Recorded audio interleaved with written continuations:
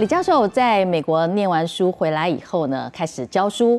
但是在这过程当中，其实我们不知道的是，李教授他原来是念理工的，他是学电机的，但是一直对教育非常的关心。然后还有博幼基金会的诞生，我们请李教授来谈一下对偏乡教育，您如何开始会对台湾的教育有这么大的兴趣，而且开始提出很多的批评和建言。其实，呃，我想很多人都注意到了，就是没没有仔细的去研究怎么回事。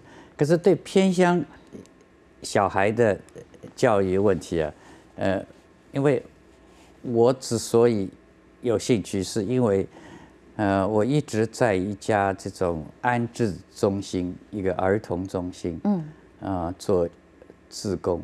你是说德兰吗？对。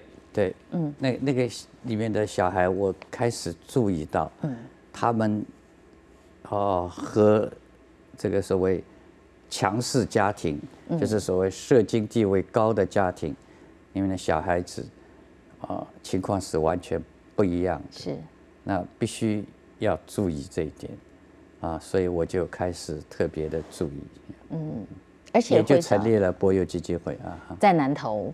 对，这么一开始在南投了，嗯，后来就扩张到很多地方。其实后来开枝散叶，照顾孩子非常的多。您觉得做这个对偏乡孩子的照顾，为什么我们的政府的触角没有办法升级到？然后由于我们这个基金会，然后啊召集很多这个有心的人士，大家一起来做。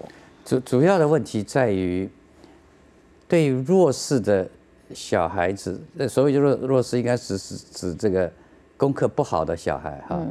当然，我们还加一个条件，就是他一定要来自弱势的家庭，就是那个家里的经济环境、家里经经济情况。可是我们现在就讲这个这个一开始的时候功课不好的小孩啊，呃，有一个重要的事情就是我们必须要因材施教。是。那这个是政府一直不肯做的一件事情。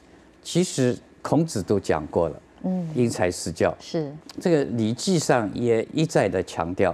因材施教，那政府的法律上面也说要因材施教，可是呢，政府又说你一定要常态分班，不可以这个叫做能力分班，能力分班，嗯，所以你不可以因材施教，那所以最后的结果就是功课呃就非常聪明的小孩，以及中等聪明的小孩，以及功课跟不上的小孩，不是不够聪明的小孩，是同一个班上。上同一个课，同样的进度。教材，同样的进度，同样的考试，嗯，最后牺牲掉了我们后面的这批小孩。那如果我们不去帮他的忙的话，他们绝无希望，嗯哼，一定跟不上，而且这个进度非常之快啊，他就他就完全放，主要是英文跟数学，这两个是最严重。这群孩子如果不去帮忙他们，除了在功课上始终就跟不上，他们未来升学的机会不高之外，对他们信心的打击也很大。我们有的时候看到很多的学生，最后的就变成所谓叫中辍生，嗯，这还是有，而且也还是不少。有没有注意到中辍生常常有时候会被黑道吸引？是，哎，所以这个其实是一个社会问题，社会问题是，而且还有他的他的这个。竞争力是非常差的，所以我们现在一天到晚说要多元，嗯，其实如果你的国因素都非常差的话，你很难找得到很好的工作了。嗯哼哼哼，你即使是高中毕业，能不能做到电子工厂的作业员？嗯，我要讲，做不到。电子工厂的作业员有一个最低的要求，对英文跟数学有一个最低的要求。哦，因为作业员不是不是去动一下机器，或者是做一个简单的工作，作业员是负责操作那些仪器的。嗯，所以也不是那么简单。是电子仪器也化学仪器，嗯，都不是那么简单。而且要看得懂基本的英文哦，一些指示。我们现在这国家也跟，比方说跟大陆就不大一样，嗯，就是那种工作说是完全不要有知识就可以做的工作会越来越少。嗯，纯劳力工作、全产性工作会越来越少。是。是刚才提到一个竞争力的问题。您之前也曾经有过许多的文章在谈，因为现在有很多的陆生到台湾来求学，包括您在清大校园里面也有遇过一些。那您感受到陆生跟台生他们的企图心表现上有相当大的不同，而且。嗯，台湾现在有很多对于陆生的一些限制哦，你也认为不合理哦？可不可以谈谈您？哦，这当然不合理。为什么呢？因为我们国家一定要是一个国际性的国家。嗯，这呃，任何一个好的国家，它都是吸引了大批的外国人，而且是优秀的外国人是去工作。比方说，我现在举一个例子，有一家公司 ASML，它一共啊好像是二十七个。国家的人在它那个里面工作，这是一家非常大的仪器公司，二十七个国家，那欧洲几乎任何一个国家都有人能够到他那边去工作，是一家呃荷兰的公司。是，那几家大公司都是这样的，法国的大公司里面大家都讲英文的，为什么？因为它是相当大的国际性公司。那我们绝对应该吸引所有好的。国际人才，国际人才，不管他是哪哪一个国籍、哪一个国家的，一个尽量的，不要保护这个职业，一定要让他们来。但是我们很多台湾的年轻人就会说，这样子我们就没有机会了。你要知道哈，其实我们的人也并不会的没有机会，因为啊，也不是说每一个工作都被他们占领了。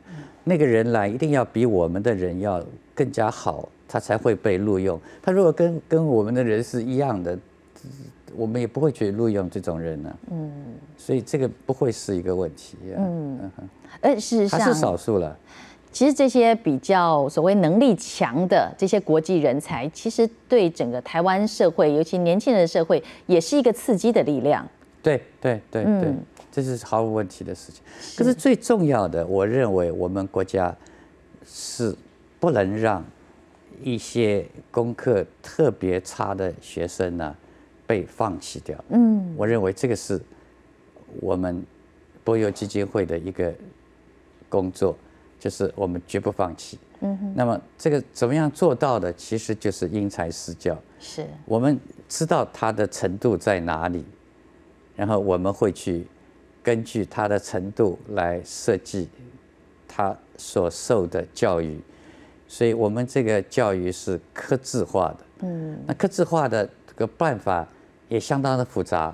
呃，你一定要有不同等级的考试。如果你考的一模一样啊，这个对于那个功课不好的小孩啊，对，就吃很大亏。嗯，那如果你考的非常容易，结果你对那个功课就好的小孩又吃很大亏，是。所以其实我们我随便举个例子来说啊，他说我们说一元一次方程式，我们考三次，嗯，啊，第一次是非常简单的，如果你这个都不会，你根本就不要来考试了，嗯，你你你你就好好的再去准备，再学一次，好，你不是继续的再再好好念，等念好了以后再来考，第二次也是简单的。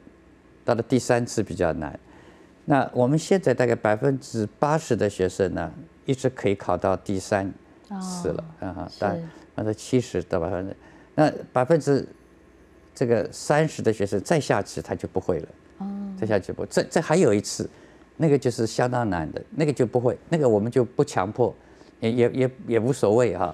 那这样有个什么好处，就是说我们的学生，我们承认我们的学生的确将来。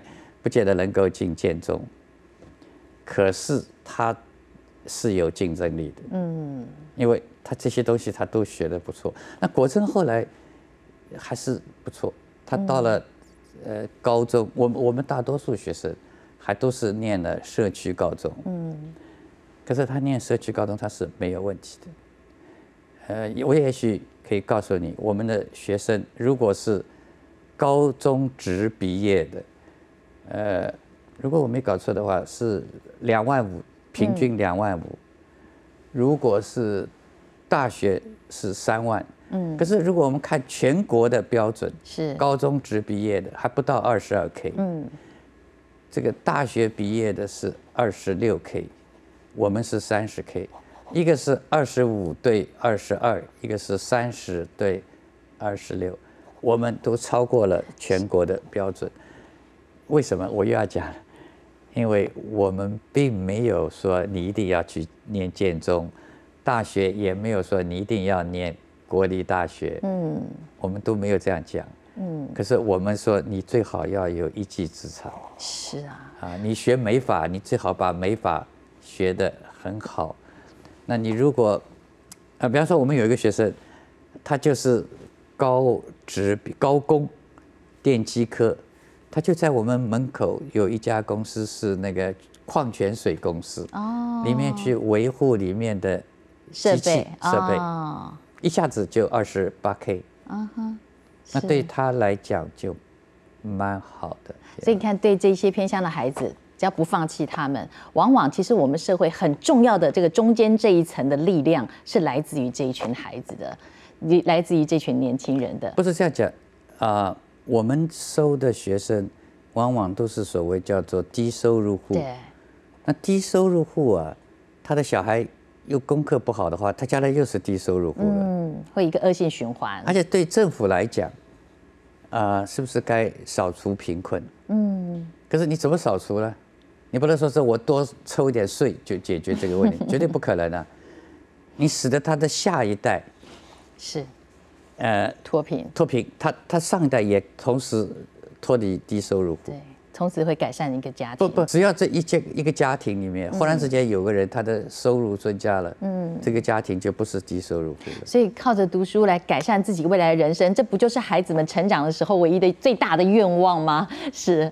其实李教授刚刚跟我们谈了很多对于偏乡孩子的一些照顾，其实这就是一个教育家的一个情怀。